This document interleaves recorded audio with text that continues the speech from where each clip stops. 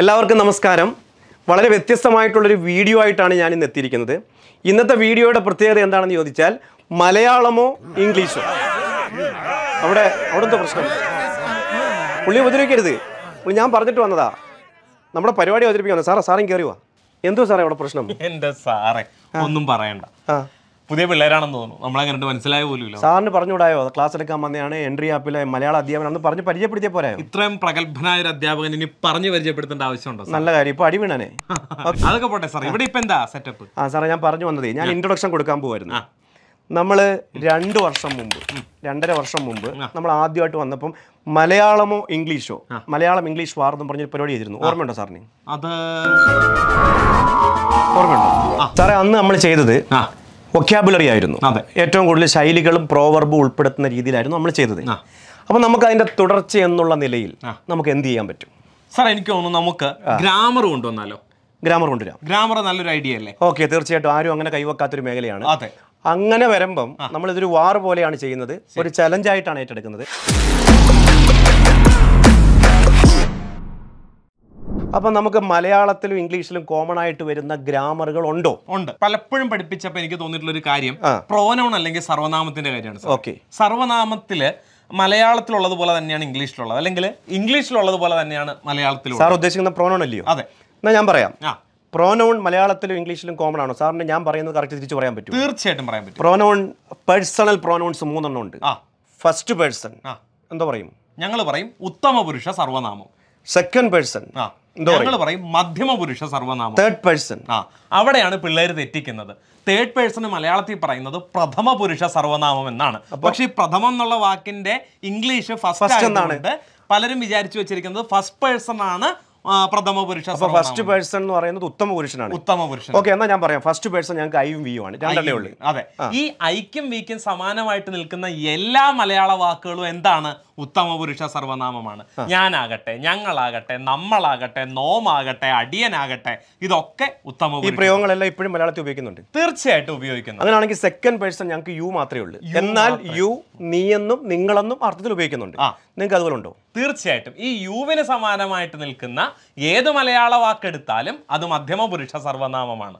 ഉദാഹരണത്തിന് നീയാകാം നിങ്ങളാകാം താനാകാം താങ്കളാകാം ഈ താനും താങ്കളും ഒക്കെ കറക്റ്റായ പ്രയോഗം താൻ എന്നുള്ളത് കറക്റ്റായ പ്രയോഗമാണ്? തീർച്ചയായിട്ടും. ഓക്കെ അങ്ങനെയാണെങ്കിൽ ഞങ്ങൾക്ക് തേർഡ് പേഴ്സൺ ഉണ്ട്. അതായത് നിങ്ങളുടെ പ്രഥമ പുരുഷൻ. തീർച്ചയായും. ഞങ്ങളുടെ തേർഡ് പേഴ്സൺ നാലെണ്ണമാണ്.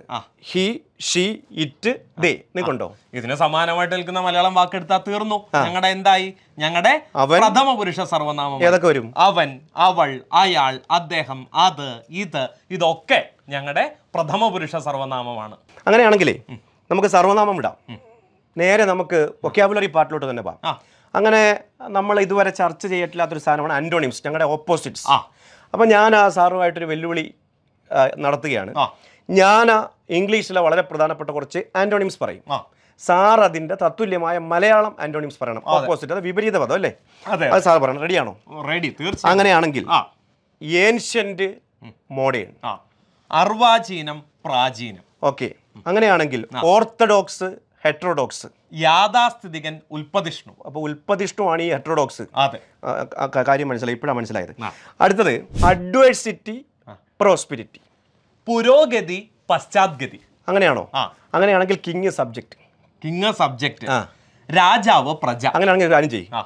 സാറ് മലയാളം പറ. ഞാൻ ഇംഗ്ലീഷ് പറയാം. സാറേ പരീക്ഷയ്ക്ക് ആവർത്തിച്ച് ചോദിക്കുന്ന ഒരു സാധനമാണ് വികാസം വിപരീതം സങ്കോചം. വികാസം സങ്കോചം. അതെ. ഉണ്ട്. Broad narrow. നാരോ യെസ് അങ്ങനെയാണെങ്കിൽ ഗഹനം ആഴമുള്ളതിനെ ഞങ്ങൾ ഗഹനം എന്ന് പറയും. അതിന്റെ വിപരീതമാണ് സരളം. സരളം. ഈ ഗഹന സരളത്തിന്റെ അർത്ഥം എനിക്ക് അറിയത്തില്ല സാർ ആഴമുള്ളത് ആഴമില്ലാത്തല്ലേ. പറഞ്ഞു? നമ്മളെ സംബന്ധിച്ച് ഡീപ് ഷാളോ. അങ്ങനെയെങ്കിൽ നിരുത്സാഹപ്പെടുത്തുക എന്ന വാക്കിന്റെ വിപരീതമാണ് പ്രോത്സാഹിപ്പിക്കുക. ഓക്കെ നമുക്കുണ്ട്. എന്താണ്? ഡിസ്കറേജ് എൻകറേജ് എൻകറേജ് ഓക്കെ സാറേ നമുക്കൊരു കാര്യം ചെയ്യാം. പി എസ് റിലേറ്റഡ് അല്ലാത്ത ഒരു കാര്യം പറയട്ടെ. നമ്മൾ ഈ മലയാളം ഇംഗ്ലീഷിലോട്ട് ട്രാൻസ്ലേറ്റ് ചെയ്യുന്നതാണോ? ഇംഗ്ലീഷ് മലയാളത്തിലോട്ട് ട്രാൻസ്ലേറ്റ് ചെയ്യുന്നതാണോ എളുപ്പം? അതൊരു നല്ല ചോദ്യമാണ്. ഇംഗ്ലീഷിൽ നിന്ന് മലയാളത്തിലേക്കോ മലയാളത്തിൽ നിന്ന് ഇംഗ്ലീഷിലേക്കോ എങ്ങോട്ട് തന്നെ ട്രാൻസ്ലേറ്റ് ചെയ്താലും ഒരുമാതിരി മറ്റേ ഇടപാട് കാണിക്കരുത്. എന്ത് ഇടപാടാണെന്നറിയോ ഒരിക്കലേ മമ്മി റിട്ടേൺസ് എന്ന് പറഞ്ഞൊരു ഹൊറർ സിനിമ സാറ് കണ്ടിട്ടുണ്ട്? ഹൊറർ കം കോമഡിയാണ് അത് തമിഴിലേക്ക് ട്രാൻസ്ലേറ്റ് ചെയ്തു. അമ്മച്ചി തിരുമ്പി വന്നച്ചി ഓക്കെ അതുപോലല്ലയോ? പിന്നെ സ്പൈഡർമാൻ ചിലന്തി മനുഷ്യൻ. ചിലന്തി മനുഷ്യൻ ഞാൻ അതല്ല ഉദ്ദേശിച്ചത് ഞാൻ പറഞ്ഞ ഈ ലിറ്ററേച്ചർ ട്രാൻസ്ലേറ്റ് ചെയ്യുമ്പോൾ ഇപ്പം കവിത കഥയൊക്കെ ട്രാൻസ്ലേറ്റ് ചെയ്യുമ്പോൾ ഇംഗ്ലീഷിൽ നിന്ന് മലയാളത്തിലോട്ട് ട്രാൻസ്ലേറ്റ് ചെയ്യുന്നത് എളുപ്പം. മലയാളം ഇംഗ്ലീഷിലോട്ട് ട്രാൻസ്ലേറ്റ് ചെയ്യുന്നതാണ്? എന്റെ ഒരു അഭിപ്രായത്തിൽ ഇംഗ്ലീഷിൽ നിന്ന് മലയാളത്തിലേക്ക് ട്രാൻസ്ലേറ്റ് ചെയ്യുന്നത് എളുപ്പമാണ്. പക്ഷെ മലയാളത്തിൽ നിന്ന് എന്റെ അഭിപ്രായം തന്നെയാണ് അപ്പൊ ആ കാര്യത്തിൽ നമുക്ക് യോജിപ്പുണ്ട്. അതായത് മലയാളത്തിൽ നിന്ന് ഇംഗ്ലീഷിലേക്ക് ട്രാൻസ്ലേറ്റ് ചെയ്യാൻ പാടാണ്. പക്ഷെ ഇംഗ്ലീഷിൽ നിന്ന് മലയാളത്തിലോട്ട് ട്രാൻസ്ലേറ്റ് ചെയ്യാൻ വളരെ എളുപ്പമാണ്. വളരെ എളുപ്പമാണ്. ഞാൻ കേട്ട രസം ഞാനിപ്പോൾ ഈ ഡിഗ്രി ഡിഗ്രി സ്റ്റുഡൻസിനെ പഠിപ്പിക്കുന്നുണ്ട്. അപ്പൊ അപ്പോൾ ഈ ബി എ ഇംഗ്ലീഷിൽ ഒരു ഒരു ഭൂമിക്ക് ഒരു ചരമ ചെയ്ത ഇനിയും മരിക്കാത്ത ഭൂമി നിന്നാസന്ന മൃതിയിൽ നിനക്ക് ആത്മശാന്തി. ഇത് നിന്റെ എന്റെയും ചരമ ശുശ്രൂഷയ്ക്ക് ഹൃദയത്തിൽ എന്നെ കുറിച്ച ഗീതം എന്ന് പറയുന്നതിനകത്ത് മൃതിയുടെ കറുത്ത നമ്മളിത് പഠിച്ചിട്ടുണ്ടായിരുന്നു നമുക്ക് മലയാളം അറിയാം. മൃതിയുടെ കറുത്ത വിഷപുഷ്പം എന്ന് പറയുന്ന സാധനം ട്രാൻസ്ലേറ്റ് ചെയ്തിരിക്കുന്ന കോമഡിയാ.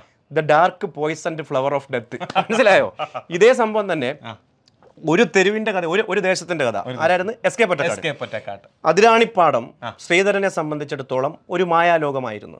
അപ്പോൾ ഏറ്റവും Sreedharan അതിരാണ Athiranippadam was a world of wonder wonder മനസ്സിലായി? അതിനകത്തൊരു ഒരു ഭാഗം വരുന്നുണ്ട്. എന്തൊരു മാറ്റം? അപ്പൊ നമ്മൾ സാധാരണ എന്തായിരിക്കും പറയുന്നത് വാട്ട് എ ചേഞ്ച് നമ്മുടെ പൊട്ട ഇംഗ്ലീഷാ.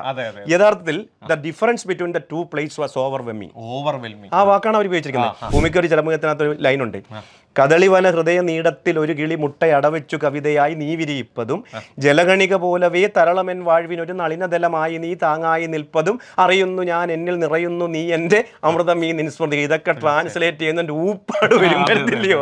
വരും. ഒരു കാര്യം പറയണം. നല്ല വൃത്തിയായിട്ട് അല്ല ഞാൻ പഠിച്ചതായത്. ഇത് ഞാൻ ആ സ്കൂളിൽ പഠിച്ചു പിന്നെ ഞാൻ പഠിപ്പിച്ചു ഇതിൽ ഇംഗ്ലീഷ് ഞാൻ പഠിപ്പിക്കുന്നുണ്ട്. അപ്പൊ നമ്മൾ തമ്മിലുള്ള ഒരു യോജിപ്പ് എന്ന് വെച്ച് കഴിഞ്ഞാൽ ട്രാൻസ്ലേറ്റ് ചെയ്യുന്നത് മലയാളത്തിൽ നിന്ന് ഇംഗ്ലീഷിലേക്ക് മാറ്റാനാണ് പാട്. എന്നാൽ ഇംഗ്ലീഷ് മലയാളത്തിലാക്കാൻ വളരെ എളുപ്പമാണ്. കറക്റ്റല്ലേ കറക്റ്റ് അല്ലേ? അങ്ങനെയാണെങ്കിൽ നമുക്ക് വീണ്ടും പി എസ് സിയിലോട്ട് തിരിച്ചു വരാം. സാർ ഇപ്പൊ ചോദിച്ചൊരു കാര്യമുണ്ടല്ലോ. അതായത് ഒരു ദേശത്തിന്റെ കഥ. അത് ഇംഗ്ലീഷിലേക്ക് ട്രാൻസ്ലേറ്റ് ചെയ്തിട്ടുണ്ട്. ടൈൽസ് ഓഫ് അതിരാണിപ്പാടം എന്ന ടൈൽസ് ഓഫ് അതിനകത്ത് ഞാൻ പറഞ്ഞ ശ്രീധരൻ അല്ലേ? ഓക്കെ നമുക്ക് വീണ്ടും തിരിച്ചു വരാം. നമുക്ക് അടുത്ത നേരെ പോകുന്നത് ഞാൻ പറയാം. ജെൻഡർ നൗൺ ജെൻഡർ ഞങ്ങൾക്ക് മസ്കുലിൻ ഫെമിനിൻ ഉണ്ട്. നിങ്ങൾക്ക് എന്തുണ്ട്? എതിർലിംഗ പദങ്ങൾ. അല്ലെങ്കിൽ സ്ത്രീലിംഗ പുല്ലിംഗ ഈ ലിംഗം ലിംഗം വരമ്പഴി. ഏതൊക്കെയാണ് രണ്ടെണ്ണേ ഉള്ളൂ. അതോ ഞങ്ങ- ഞങ്ങൾക്ക് മൂന്നെണ്ണം ഉണ്ട്. ഞങ്ങൾക്ക് ഉണ്ട്. ഞങ്ങൾക്ക് ശരിക്കും നാലെണ്ണം ഉണ്ട്. ഞങ്ങൾക്ക് മസ്കുലിൻ ഫെമിനിൻ ന്യൂട്രൽ ന്യൂട്രൽ നിങ്ങൾക്ക് ഏതൊക്കെയാണ്? ഞങ്ങൾക്ക് സ്ത്രീലിംഗം പുല്ലിംഗം ഈ ന്യൂട്രലിന് തുല്യമായിട്ട് നപുംസകലിംഗം നാലാമതൊരെണ്ണം കൂടിയുണ്ട് അലിംഗം അഥവാ ഉഭയലിംഗം. അപ്പൊ അത് ആദ്യം പറ. ബാക്കിയെല്ലാം എനിക്ക് മനസ്സിലായി. അലിംഗം അഥവാ ഉഭയലിംഗം എന്ന് പറഞ്ഞാൽ രണ്ടും പെടാം. ഇപ്പൊ കുട്ടി എന്ന വാക്ക് പരിശോധിക്കുക. അതിൽ ആരൊക്കെ വരാം? ആൺകുട്ടിയും ആകാം പെൺകുട്ടിയും ആൺകുട്ടി എന്ന് പറയുമ്പോൾ അത് മസ്കുലിൻ ജെൻഡർ പെൺകുട്ടി എന്ന് പറയുമ്പോൾ ഫെമിനൈൻ ഫെമിനൈൻ ജെൻഡർ കുട്ടി എന്ന് മാത്രം പറഞ്ഞാലോ? ഇംഗ്ലീഷിൽ എന്ത് പറയും? രണ്ടും വരും. ആ രണ്ടും വരും. അതിന് പ്രത്യേക ഇവിടെ അങ്ങനല്ല സാറേ. ഇവിടെ വരുമ്പോ ഇപ്പൊ ബോയ് മസ്കുലിനാണ് ഗേൾ ഫെമിനിൻ ആണ്. ബുക്ക്.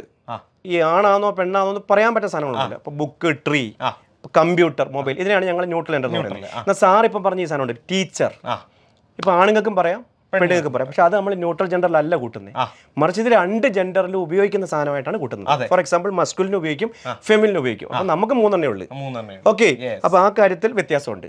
പക്ഷേ ഞാൻ പറയുന്ന ജെൻഡർ അതിന്റെ തത്തുല്യമായ മലയാളം ലിംഗം സാറിന് പറയാൻ പറ്റുമോ? ഉറ- ഉറപ്പായിട്ടും. പറയാൻ പറ്റുമോ? പറ്റും. ചലഞ്ചാണോ ചലഞ്ചാണ് ഓക്കെ ഓക്കെ അങ്ങനെയാണെങ്കിൽ സിമ്പിളി തുടങ്ങാം. Widow widower. വിധുരൻ വിധവ. ഞാൻ വിധവൻ എന്നാണ് വിചാരിച്ചിരുന്നത്. അല്ല. അല്ല. വിധവൻ അല്ല. അല്ല. അല്ല. വിധുരൻ. വിധുരനാണ് പുതിയ അറിവാ. അങ്ങനെയാണെങ്കിൽ അടുത്ത് പറയട്ടെ. പോയറ്റ് പോയറ്റസ് ആ. നല്ലൊരു സാധനാണേ. കവി എന്ന വാക്കിന്റെ സ്ത്രീലിംഗ പദം. സാറൊന്ന് പറഞ്ഞേ കേക്കട്ടെ. കവയത്രി. കവയത്രി അല്ല. കവയിത്രിയാണ് അവസാനത്തെ രണ്ടക്ഷരത്തിന് മാത്രമേ വള്ളി അതായത് യായിക്കും ത്രായിക്കും. വള്ളിയുണ്ട്. മാത്രമേ വള്ളി അത് ആദ്യമായിട്ട് അറിയൂ അങ്ങനെയാണെങ്കിൽ ഞാൻ ചോദിക്കട്ടെ? ഞങ്ങൾക്ക് ഈ കാര്യത്തിൽ പറയാൻ വേറൊരു കാര്യമുണ്ട്. ഇപ്പൊ മോഡേൺ ഗ്രാമർ അനുസരിച്ച് ഇപ്പൊ പൊയറ്റ് പൊയറ്റസ് ആണല്ലോ.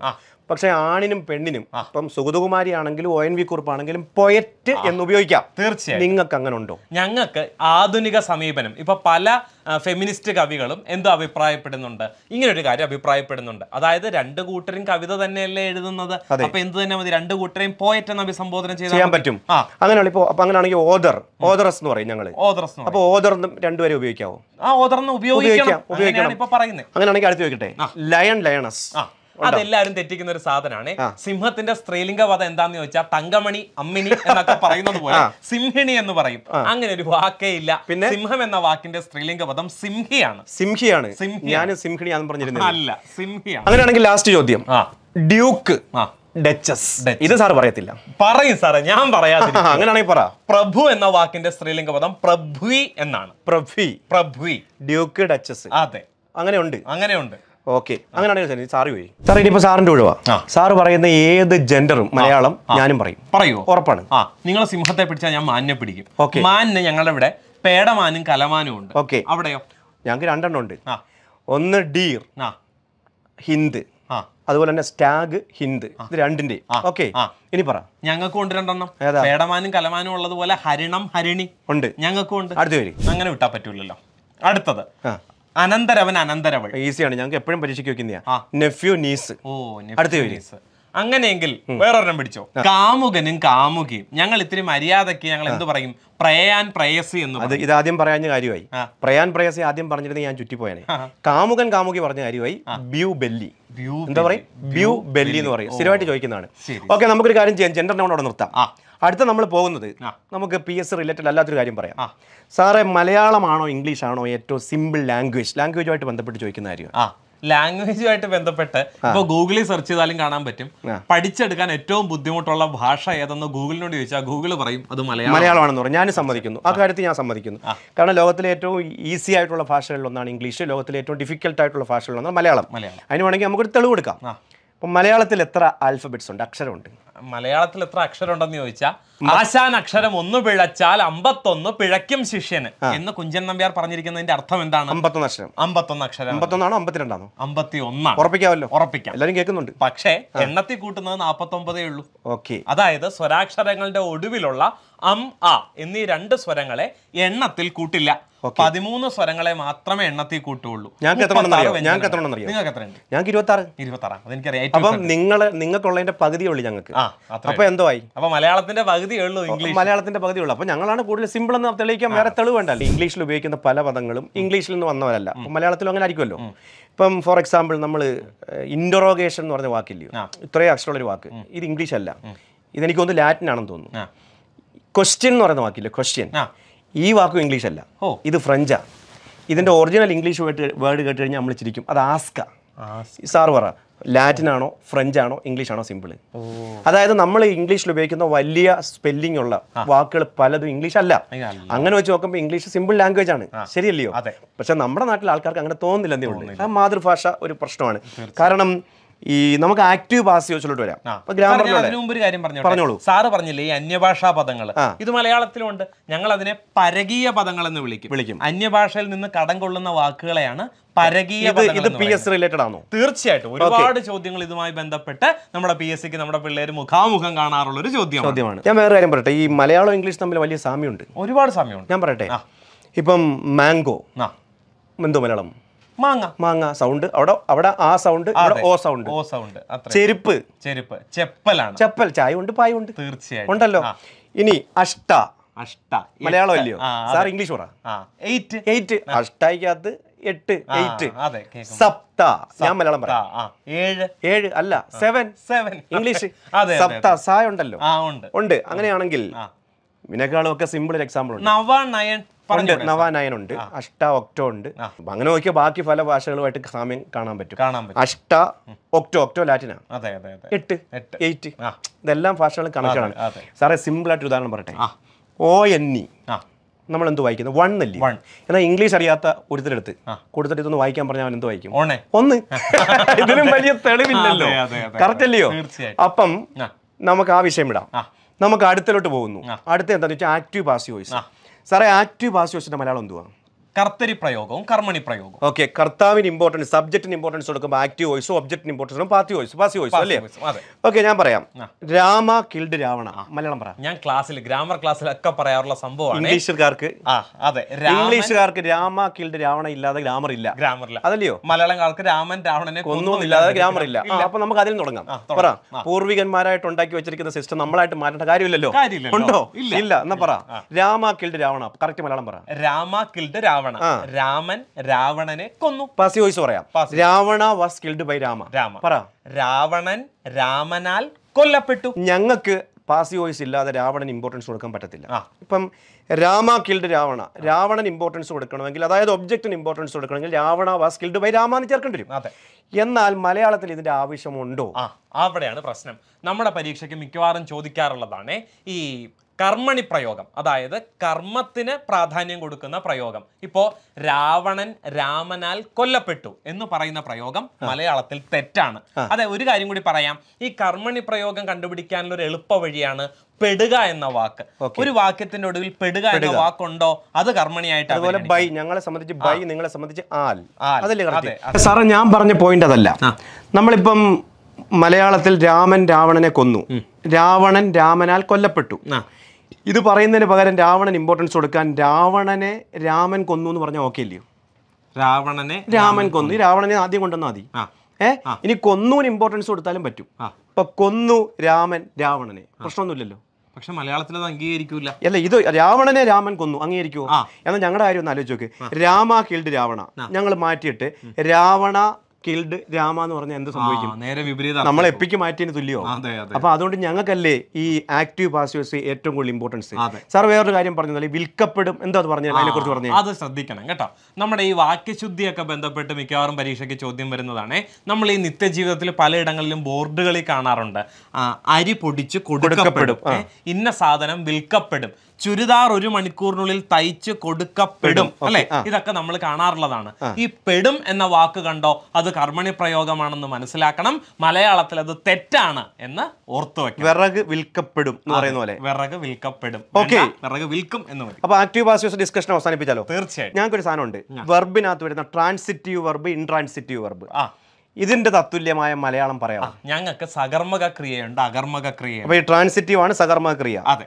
ഇൻട്രാൻസിറ്റീവ് ആണ് അകർമ്മ ക്രിയ അതെ. കറക്റ്റ് കാരണം ഈ കർമ്മം ഉള്ളതാണ് ഒബ്ജക്റ്റ് ഉള്ളതാണ് ട്രാൻസിറ്റീവ് വെർബ് ഒബ്ജക്റ്റ് ഇല്ലാത്തതാണ് ഇൻട്രാൻസിറ്റീവ് വെർബ് ഒന്നുകൂടെ വ്യക്തമാക്കിയാൽ കർത്താവ് ചെയ്യുന്ന പ്രവൃത്തിയുടെ ഫലം അനുഭവിക്കാൻ രണ്ടാമതൊരാൾ ഉണ്ടെങ്കിൽ മാത്രമേ സകർമ്മക ക്രിയ ചെയ്യാൻ പറ്റൂ. ഓക്കെ അതന്നെയല്ലേ തന്നെയല്ലേ ആ വിത്ത് ഒബ്ജക്റ്റ് ഒബ്ജക്റ്റ് ഉണ്ടെങ്കിൽ ട്രാൻസിറ്റീവ് വെർബ് ഒബ്ജക്റ്റ് ഇല്ലെങ്കിൽ ഇൻട്രാൻസിറ്റീവ് വെർബ് സാറേ ഞാൻ ആ ട്രാൻസിറ്റീവ് വർബിന് ഉദാഹരണം പറയാൻ പോവാം.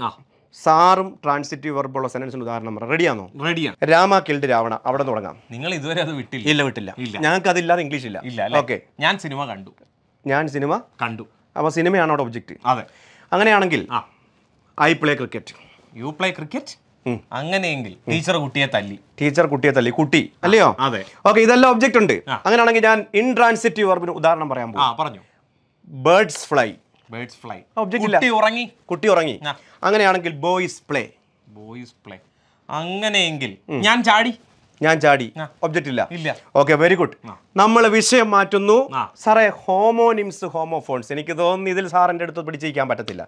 കാരണം ഇത് പലപ്പോഴും മലയാളത്തിൽ ഇല്ലെന്നാണ് എനിക്ക് തോന്നുന്നത്. സാറേ ഹോമോ നിംസ് എന്ന് പറഞ്ഞ ഒരു വാക്ക് സെയിം സ്പെല്ലിങ് പക്ഷെ രണ്ടർത്ഥമാണ് രണ്ടർത്ഥം. ഇങ്ങനെ സ്പെല്ലിങ്ങിന് രണ്ടർത്ഥം. രണ്ടർത്ഥം. ഉണ്ട്. ഞങ്ങൾ അതിന് നാനാർത്ഥം എന്ന് പറയും. ഉണ്ടോ? ആ ഉണ്ട്. അവിടെയും പോയി. അവിടെയും പോയി. ഡാർക്ക് ഡാർക്ക് അങ്ങനെയാണെങ്കിൽ ഞാൻ ഉദാഹരണം പറയാം. സാർ ഉദാഹരണം പറയണം. പറയാം. ഞങ്ങൾക്ക് പറ്റിയ സാധനം ബാറ്റ് ബാറ്റ് ബാറ്റ് എന്ന് പറഞ്ഞാൽ ബാറ്റ് എന്ന് പറഞ്ഞാൽ എന്തോ അർത്ഥം? രണ്ടർത്ഥമുണ്ട് പറ. ക്രിക്കറ്റ് ബാറ്റ് ക്രിക്കറ്റ് ബാറ്റും ഉണ്ട്. വവ്വാലുണ്ട് ബാറ്റ് ഇത് രണ്ടും ഒരേ സ്പെല്ലിംഗ് ഒരേ ഉച്ചാരണം പക്ഷെ രണ്ടർത്ഥമാണ് അതെ. അതുപോലെ ഒരെണ്ണം പറയാവോ. അതുപോലെ ഞങ്ങളുടെ മലയാളത്തിലും ഉണ്ട്. ഇപ്പൊ ഉദാഹരണം പറഞ്ഞാൽ മാനം. മാനം എന്ന വാക്ക് നോക്കിക്കേ സാറേ. മാനം. എന്ന് പറഞ്ഞാൽ സാറിന് ആദ്യം ഓർമ്മ വരുന്നത് ആകാശം. ആകാശം. കൂടാതെ ഉണ്ട്. മാനം അഭിമാനം. അത് പറ. സ്വാതന്ത്ര്യം തന്നെ ജീവിതം സ്വാതന്ത്ര്യം തന്നെ അമൃതം പാരതന്ത്ര്യം മാനികൾക്ക് മാനികൾക്ക് മൃതിയേക്കാൾ ഭയാനകം. അതെ മാനികൾക്ക്. മാനികൾ എന്ന് പറഞ്ഞാൽ അഭിമാനമുള്ള അഭിമാനമുള്ളവർ ഓക്കേ, ആരുടെ വരിക ഞാൻ വേറെ ഒന്നും പറയാൻ പോകും ആരുടെ വരിക മലയാള അധ്യാപകം പറ. അറിയത്തില്ല ഞാൻ മലയാളം അല്ലല്ലോ. അല്ല നിങ്ങൾ സാറേ സാറെ കുറച്ചാൾ മുമ്പ് വരെ മലയാളത്തിന്റെ പിതാവ് തുഞ്ചത്ത് രാമാനുജൻ എടുത്തിട്ടായിരുന്നു. ഇപ്പൊ അതല്ല. നിധി കമലം. ഓക്കെ അപ്പം അത്രയ്ക്ക് വേണം അത്രയ്ക്ക് വേണം. അപ്പൊ കാര്യത്തിലേക്ക്. ഞാൻ ഒരെണ്ണോടെ പറയാൻ പോവാ. എനിക്കതേ പറയാൻ പറ്റൂ. വാച്ച് വാച്ച് കൈ കെട്ടുന്ന വാച്ച്. വേറെ വാച്ച് ഉണ്ട്. പറയാമോ? ആ നിരീക്ഷിക്കുക. നിരീക്ഷിക്കുക. വാച്ച്മാൻ എന്ന് പറയുന്ന വാച്ച് വെർബായിട്ട് ഉപയോഗിക്കാറുണ്ട്. ഇനി ഒരു നൂറെണ്ണം ഉണ്ട്. നൂറെണ്ണം പറയണ്ട പറയാൻ സമയമില്ലല്ലോ. നൂറെണ്ണം വേണമെങ്കിൽ പറയാം നമുക്ക്. സാറിന് ഒരു ഉദാഹരണം പറയാൻ പറ്റുമോ? ഹോമോനിംസിന് പറ്റിയ ഒരു അതായത് സ്പെല്ലിംഗ് ഒന്നായിരിക്കണം പല അർത്ഥങ്ങളുണ്ട്. പല അർത്ഥം. ഞാൻ ഓക്കെ. ഇപ്പോ അങ്ങനെയാണെങ്കിൽ അമ്പരം പറയാം സാറേ. അമ്പരം എന്ന വാക്ക് അല്ലെ? അമ്പരത്തിന് ആകാശം എന്നും അർത്ഥമുണ്ട് വസ്ത്രം എന്നും അർത്ഥമുണ്ട്. ഞാനൊരു വാക്കിലൂടെ വിശദീകരിക്കാം. ഓക്കെ. ദിഗംബരൻ അല്ലെ? അനന്തപദ്ന സിനിമ കണ്ടിട്ടുണ്ടെങ്കിൽ ദിഗംബരനെ മറന്നിട്ടുണ്ടാവില്ല ദിഗംബരൻ എന്ന വാക്കിന്റെ അർത്ഥം എന്താണ്? ദിക്ക് അമ്പരമായിട്ട് ഉപയോഗിക്കുന്നവൻ. അതായത് വശങ്ങൾ വസ്ത്രമായിട്ട് ഉപയോഗിക്കുന്നവൻ. തുണി എടുക്കാത്തവൻ വേറൊന്നും സാറേ. അമ്പര ചുംബി. അവിടെയും ഈ അമ്പരം വരുന്നുണ്ട്. അമ്പരത്തെ ചുംബിച്ച് നിൽക്കുന്നത്. ആകാശത്തെ ചുംബിച്ച് നിൽക്കുന്നത്. ബോജ് ഖലീഫ ആ നമ്മുടെ അമ്പര ചുംബിക്ക് ചുംബിക്ക് ഉദാഹരണം ഉദാഹരണമാണ്. സാറ് ബുർജ് ഖലീഫ പോയിട്ടുണ്ടോ? എവിടെ? പോയിട്ടില്ല. ഇനിയിപ്പോ നമുക്ക് ഒരുമിച്ച് പോവാം. ഒരുമിച്ച് അടുത്തിലോട്ട് പോവുക. ഞങ്ങൾക്ക് ഹോമോ ഫോൺ ഉണ്ട്.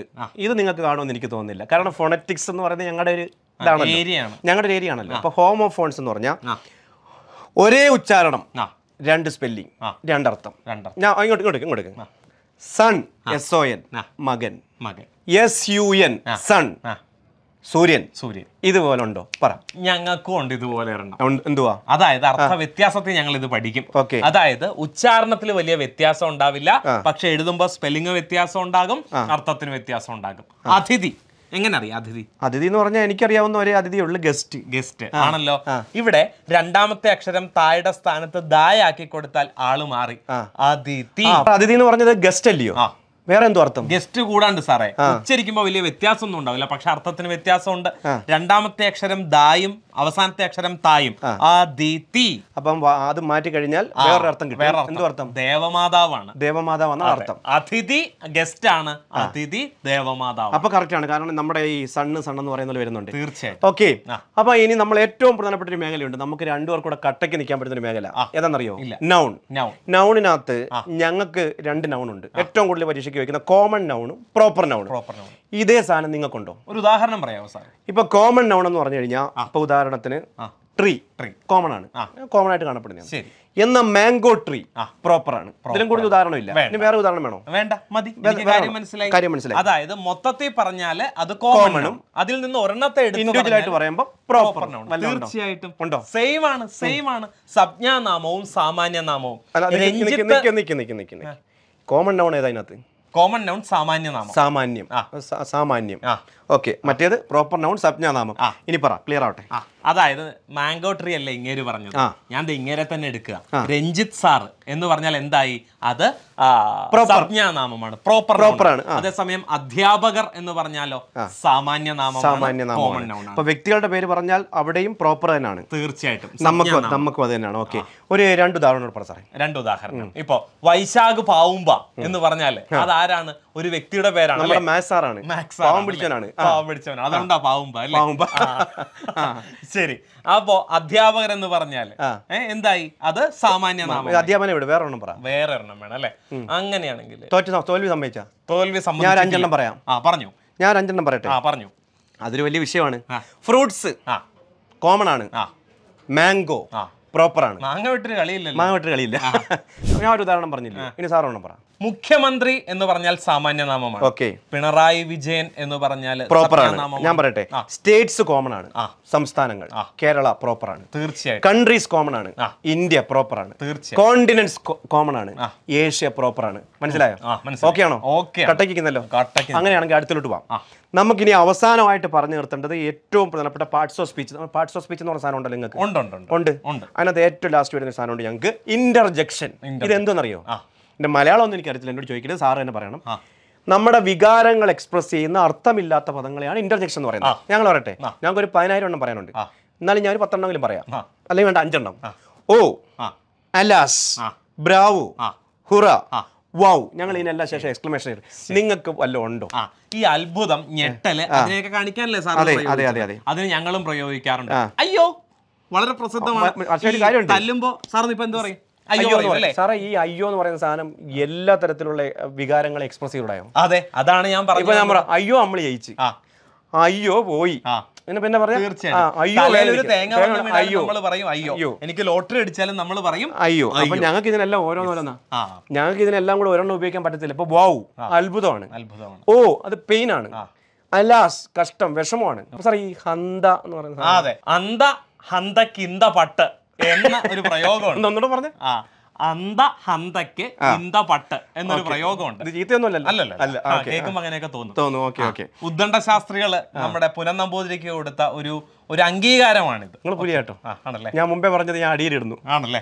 പറ. നിങ്ങൾ ആ മോശമൊന്നും അല്ല അല്ലല്ല ആ, പറ. അല്ല അത് നമുക്ക് ലാസ്റ്റ് തീരുമാനിക്കാം. ശരി. അതായത് ഇത്തരത്തിൽ അത്ഭുതങ്ങളെ കാണിക്കാൻ വേണ്ടിയിട്ട് മലയാളത്തിൽ ഉപയോഗിക്കുന്ന പ്രയോഗങ്ങളെ വിക്ഷേപിണി അല്ലെങ്കിൽ വ്യാക്ഷേപകം എന്ന് വ്യാക്ഷേപകം. ഞങ്ങളുടെ ഗ്രാമർ ബുക്കിൽ കിടപ്പുണ്ട്? ബ്രാക്കറ്റ് കൊടുത്തിട്ടുണ്ട്. ഇന്റർജെക്ഷന്റെ ബ്രാക്കറ്റ് വ്യാക്ഷേപം ഇപ്പൊ ഞാൻ ഓർക്കുന്നു. സാറേ ഹന്ത എന്ന് പറയുന്നത് ഒരു ഇന്റർജെക്ഷൻ ആണല്ലോ. അതെ. അപ്പൊ അത് വെച്ച് ഞാൻ കേട്ടിട്ടുണ്ട് കുമാരനാശന്റെ അന്ത- അന്തമില്ലാതുള്ള ആഴത്തിലേക്ക് ഹന്ത താഴുന്നു താഴുന്നു. കഷ്ടം. ഈ ഹന്ത എന്ന് പറയുന്നത് അപ്പം ശോകം കാണിക്കാൻ ഉപയോഗിക്കും അവിടെ. അതെ. അത്ഭുതം മാത്രമല്ല ഇത്തരത്തിലുള്ള ഏത് തരത്തിലുള്ള ഇപ്പൊ ഞെട്ടൽ എന്ന് പറഞ്ഞാൽ രണ്ട് തരത്തിൽ നമുക്ക് ഞെട്ടാലോ. അല്ലെ. നല്ലൊരു പോസിറ്റീവ് ഞെട്ടലും ഉണ്ട് നെഗറ്റീവ് ഞെട്ടലും ഷോക്ക് ഉണ്ട് സർപ്രൈസ് ഉണ്ട്. സർപ്രൈസ് രണ്ട് അന്ത കാണിക്കും. തീർച്ചയായിട്ടും. അപ്പം സാറ് മുമ്പേ അന്ത ഹന്ത ഹുന്ത എന്തൊരു സാധനം പറഞ്ഞല്ലോ? അന്ത പറഞ്ഞു ഇന്തപട്ട് അതിന്റെ അർത്ഥം എന്തായിരുന്നു? അതായത് പുനം നമ്പൂതിരി എന്നൊരു കവിയുണ്ട്. ആ കവി പ്രയോഗിച്ച ഒരു പ്രയോഗമാണ് ഹന്ത എന്ന ശബ്ദം. ഇത് കണ്ടിട്ട് സംസ്കൃത കവിയായ ഉദ്ദണ്ഡ ശാസ്ത്രികളാണ് അന്തഹന്തയ്ക്ക് ഇന്ദപട്ട് അതായത് ആ ഭാഗത്ത് ഹന്ത എന്ന വാക്കിനേക്കാൾ നല്ലൊരു പ്രയോഗം മറ്റൊന്നില്ല. ഇല്ല. അത്ര മികച്ചൊരു പ്രയോഗമാണെന്ന് പറഞ്ഞുകൊണ്ട് പുനന്നമ്പൂതിരിയെ അഭിനന്ദിച്ചുകൊണ്ട് ഉദ്ദണ്ഡ ശാസ്ത്രികൾ പറഞ്ഞ പ്രയോഗമാണ്. ഇത് വളരെ പ്രസിദ്ധമാണ്. നമ്മുടെ അവസാന ഭാഗത്തേക്ക് പോവാം. സാറേ ഞാൻ വിട്ടുതരാൻ തയ്യാറല്ല. കാരണം നമ്മൾ ഇത്രയും നേരം കട്ടയ്ക്ക് നിന്നു. എന്നാണ് എന്റെ വിശ്വാസം. സാറിനോടൊപ്പം പിടിച്ചിരിക്കാന്ന് പറഞ്ഞ ചെറിയ കാര്യമല്ലല്ലോ. ഏഹ്ത്തിയല്ല പുകഴ്ത്തിയല്ല. അപ്പൊ ഞാൻ ടെൻസിന്റെ ഫോം പറയാൻ പോവാ. ഞങ്ങൾക്ക് ടെൻസ് ഉണ്ട്. ഞങ്ങൾക്ക് പന്ത്രണ്ട് ടെൻസ് ഉണ്ട്. നിങ്ങൾക്ക് നല്ല ടെൻഷൻ ഉണ്ട് നിങ്ങൾക്ക് നല്ല ടെൻഷൻ ഉണ്ട് കാരണം നിങ്ങൾക്ക് അത്ര ടെൻസ് ഇല്ല. അതുകൊണ്ടാണ് ഞാൻ ടെൻസ് എടുത്തത്. ഞങ്ങളുടെ ടെൻസിന്റെ പേരെല്ലാം പറയാൻ പോവാ. Simple present tense present continuous tense present perfect tense present perfect continuous tense simple past tense past continuous tense past perfect tense past perfect continuous tense simple future tense future continuous tense future perfect tense future perfect continuous tense പറ. നിങ്ങളുടെ tense പറ. വല്ല ആവശ്യമുണ്ടോ? മൂന്നേ മൂന്നെണ്ണേ പറഞ്ഞേ പറ്റൂ. ഭൂതകാലം വർത്തമാനകാലം ഭാവി ഇതേ ഉള്ളു? തീർന്നു. മൂന്നെണ്ണേ ഉള്ളു. ഞങ്ങളുടെ പിള്ളേർ ഇപ്പോഴും പ്രാവുമായിരിക്കും.